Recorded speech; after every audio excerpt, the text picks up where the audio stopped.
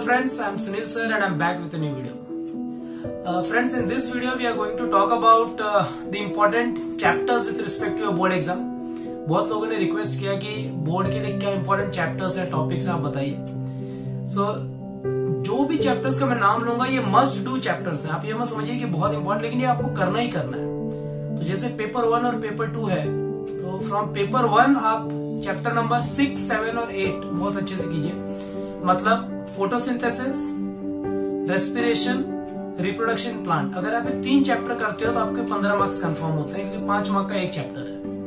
Paper two में से जो मस्ट डू चैप्टर्स होंगे सर्कुलेशन एक्सक्रीशन ऑस्मो रेगुलेशन और रिप्रोडक्शन ये तीनों पाँच पाँच मार्क के चैप्टर है तो पंद्रह मार्क तो पंद्रह और पंद्रह थर्टी मार्क्स आपको सिक्योर होते हैं सेवेंटी में से। अब जब आप चैप्टर वन की बात करोगे जेनेटिक्स तो उसमें से क्या इंपॉर्टेंट है? Monohybrid cross dihybrid cross Mendel's के लॉस शॉर्ट नोट्स आते हैं, मल्टीपल अलील्स पे इनकम्प्लीट डोमिनेंस और कोडोमिनेंस ये इंपॉर्टेंट टॉपिक्स है। चैप्टर टू में जब आप आओगे gene its nature regulation and expression में, उसमें आप डीएनए का स्ट्रक्चर कीजिए डीएनए का रेप्लीकेशन कीजिए आरएनए का स्ट्रक्चर कीजिए लैक ओपेरॉन का स्ट्रक्चर कीजिए काफ़ी इंपॉर्टेंट होता है। फोटोसिंथेसिस में सारी चीज़ें इंपॉर्टेंट है। Cyclic Calvin cycle H S K pathway और कैम्प पाथवे फ़ोटो रेस्पिरेशन ये सब इंपॉर्टेंट है।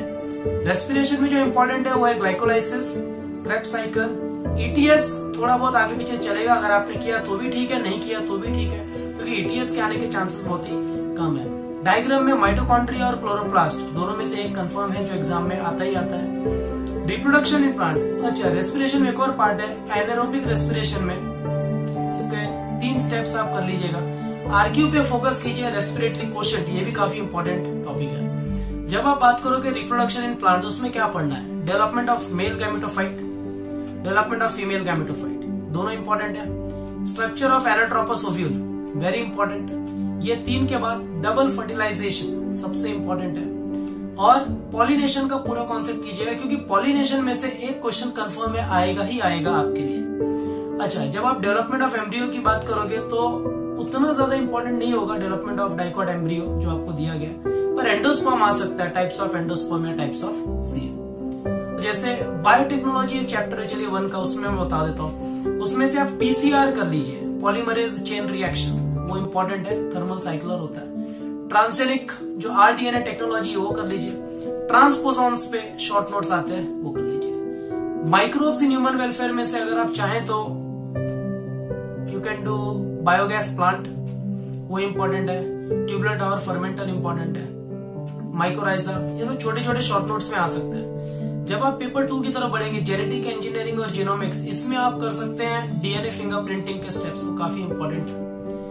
क्रोमोसोमल बेसिस ऑफ़ इनहेरिटेंस में कुछ करें या ना करें, दो टॉपिक करके जाएँ, जैसे सेक्स डिटर्मिनेशन मैन बर्ड और हनीबी का.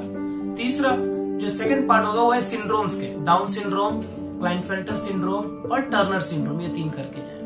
ह्यूमन हेल्थ एंड डिज़ीज़ बहुत बड़ा चैप्टर है, पर चैप्टर से दो मार्क का है। तो अगर आप ज़्यादा फोकस ना भी करना चाहें तो भी चलेगा, दो मार्क का रिस्क आप ले सकते हो। फिर भी अगर आपको नहीं छोड़ना उसे तो उसमें से स्ट्रक्चर ऑफ़ एंटीबॉडी कीजिए एंटीजन एंटीबॉडी इंटरेक्शन कीजिए एचआईवी वायरस का डायग्राम कर लीजिए और ब्लड ग्रुपिंग कीजिए। ये इंपॉर्टेंट पॉइंट्स हैं जो आ सकते हैं। सर्कुलेशन में से सब कुछ है, पर उसमें से ज़्यादा इंपॉर्टेंट क्या internal structure of heart conducting system of human heart ECG का डायग्राम पेस मेकर और ब्लड रिलेटेड कॉम्पोनेंट ये काफ़ी इंपॉर्टेंट है। एक्सक्रीशन एंड ऑस्मो रेगुलेशन में एक्सक्रीटरी सिस्टम ऑफ़ मैन कर लीजिए वीएस ऑफ़ किडनी कर लीजिए नेफ्रॉन का diagram mechanism of urine formation आया तो सीधा बड़े मार्क्स पाँच मार्क का क्वेश्चन बनेगा, नहीं तो नहीं आएगा। आर्टिफिशियल किडनी जिसे हम डायलिसिस कहते हैं, ये आप कर लीजिए। और अमोनोटेलिज्म यूरोटेलिज्म यूरोटेलिज्म इनमें भी टॉपिक्स आप कर सकते हो। ह्यूमन रिप्रोडक्शन में male reproductive system female reproductive system sperm का डायग्राम ओवम का डायग्राम oogenesis स्पर्मेटोजेनेसिस और डायरेक्ट बड़ा क्वेश्चन आया तो क्या मेंस्ट्रुअल साइकिल आपको आएगा? मेंस्ट्रुअल साइकिल में चारों फेजेस के नाम एटलीस्ट याद रखिए डेज़ याद रखिए, क्या हो रहा है वो? सबसे इंपॉर्टेंट बात आपको ये याद रखनी, कोई भी क्वेश्चन आपको खाली नहीं जाने देना। उससे रिलेटेड थोड़ा बहुत तो लिखिए की पॉइंट्स लिखना बहुत ज़रूरी है। आपके टेक्स्ट बुक को जब आप ध्यान से देखोगे, बहुत सारे वर्ड्स बहुत सारे अल्फ़ाबेट ऐसे होंगे जो हाईलाइटेड है बोल्ड में, जब आप आंसर लिख रहे हो तो वो बोल्ड हाईलाइटेड वर्ड्स आपके आंसर शीट में दिखने चाहिए। बाकी कंट्रोल एंड कोऑर्डिनेशन इतना वास्ट है, इतना वास्ट है कि उसको आप लास्ट में करें तो भी चलेगा। करें भी तो क्या उसमें आप टीएस और स्पाइनल कॉर्ड अच्छे से कर ले। जो ट्वेल्व क्रेनियल नर्व्स है, उसको आप अच्छे से कर ले, क्योंकि उनमें से पूछते हैं कौन सा मोटर है सेंसरी है मिक्स्ड है। या तो फोर ब्रेन ये सब ना आया तो हट के क्या आएगा? आई और ear end of the video सिर्फ़ इतना ही कहना चाहूँगा। सबसे इंपॉर्टेंट चैप्टर्स जो आपको पढ़ने हैं फॉर बोर्ड्स वो है photosynthesis respiration reproduction in plant genetic basis of inheritance चार चैप्टर पेपर वन से।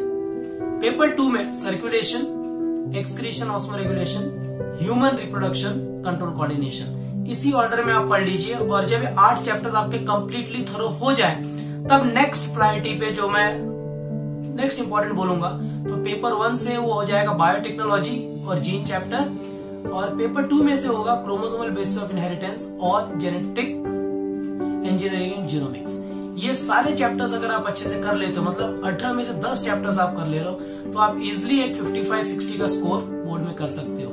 जो भी टॉपिक्स जो भी क्वेश्चंस मैंने आपको बताए, ये सब इम्पोर्टेंट हैं। लेकिन इतना करोगे तो एटलीस्ट आपको अच्छे मार्क्स आ जाएँगे। तब तक के लिए मैं Sunil sir wishing you all best of luck for your exam do well अच्छे से पढ़ाई कीजिएगा। Thank you very much